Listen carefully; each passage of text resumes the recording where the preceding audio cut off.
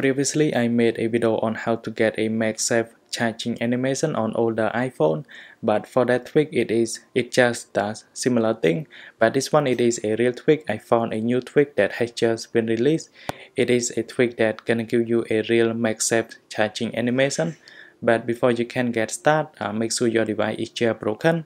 But if you haven't jailbreak your device you can void from the link in this video and you can find from the link in the video description and then you can just simply go to Cydia after you jailbreak then go to sources.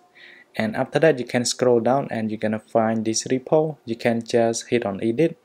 Then you can click on add. You can copy the repo from my video description and you can paste here. And after that you can simply hit on add soft and for me because I have already had it so I can simply go directly into the repo then go to all packages. And then at the bottom you're gonna find MagSafe so click on it and I can click on modify. Then I'm gonna reinstall the tweaks and I can simply hit on confirm.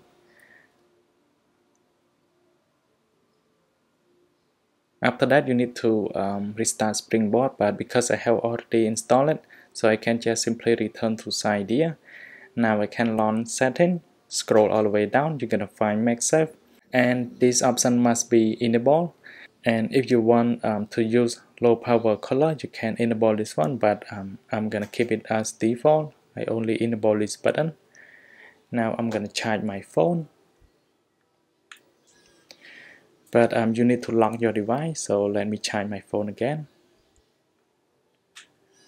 And you're gonna notice um, a new charging animation here. Let's see it one more time. And it is really amazing finally thanks for watching. I hope you like this video and hope it does help you. Then i will see you guys in the next one